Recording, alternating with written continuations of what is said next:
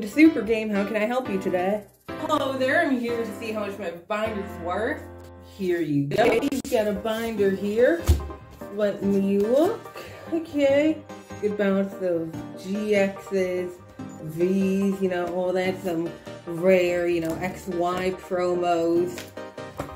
Well, I can offer you $10 cash or $20 store credit. You're telling me that for that entire binder, all of those cards were 600 plus combined, you can give me $10 cash or $20 store credit.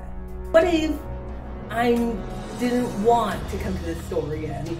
I'm even, I'm not even going to use it. Last time I had store credit, I didn't use it for two years. If you want me to increase the offer, I can bring the store credit up to 25, you know. You can maybe buy a couple of our booster packs we got here. $25 store credit.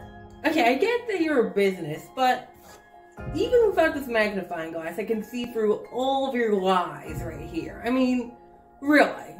At the very least, you can offer at least 400 Because, I, I mean, you know what?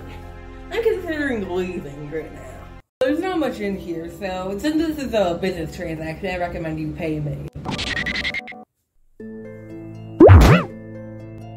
You're telling me I should pay you for a binder I'm trying to turn in. Here, well, let me let me look through my binder real quick. Let me. Oh, guess what? Here's a card that's worth the same amount you're paying me in cash. This, this is ridiculous.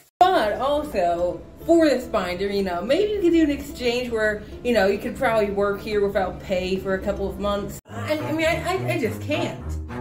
You are nonsensical. Okay, I have one more offer to make you. This toy car. Heard it was used by some guy who got, like, beaten around by some other. It was because of a trade one time. I don't know what it is, but I know it's for use for the world famous car tester or something. I don't know. You can have it. Goodbye. Well, thanks for watching the video, everybody. I'm still in my scammer, you know, LCS guy outfit. But anyways, Thanks for watching. Hopefully you enjoyed this little skit I made. Bye-bye.